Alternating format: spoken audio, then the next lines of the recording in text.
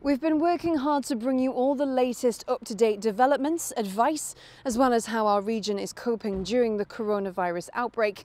But as the virus spreads swiftly worldwide, I've been talking with people in France, Austria, and the United States on how ordinary life has changed dramatically in the past week alone.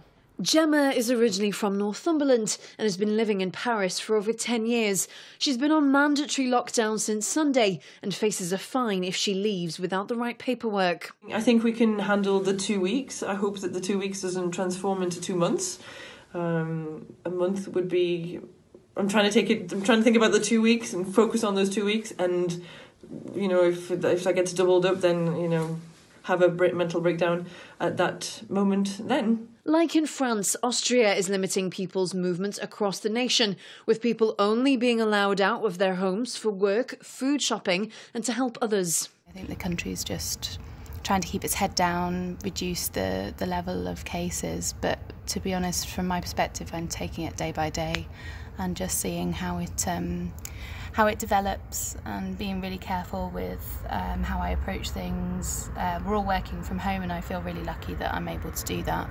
In the United States, coronavirus cases are jumping each day in their hundreds, and states are ordering more shutdowns. So, this is Arizona um, in the southwest of the US, and generally feeling a bit better about being out here just because I came out from New York, where it was getting um, pretty scary.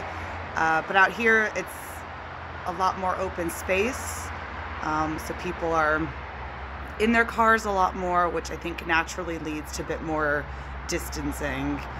And a little closer to home in London, it could be the first city in the UK to face a lockdown similar to those seen in other countries, as it remains the city with the highest level of infection. The streets are looking a lot emptier than usual. Uh, the home office is set up, which is a bit weird, but um, what else are we to do?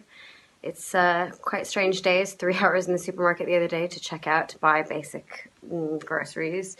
Uh, in the creative industries, it is catastrophic because we all rely on productions, TV productions, film productions to happen. And when filming can't happen, we lose work in the music industry as well and the sync industry. So uh, everything's kind of on on hold. It's a strange. Um, strange passage. We'll have to see how things blow over, but it definitely is going to have knock on effects. The British government is urging people to heed their advice when it comes to social contact as schools shut and people refrain from pubs, clubs, and theatres as the whole country teeters on the brink of total lockdown.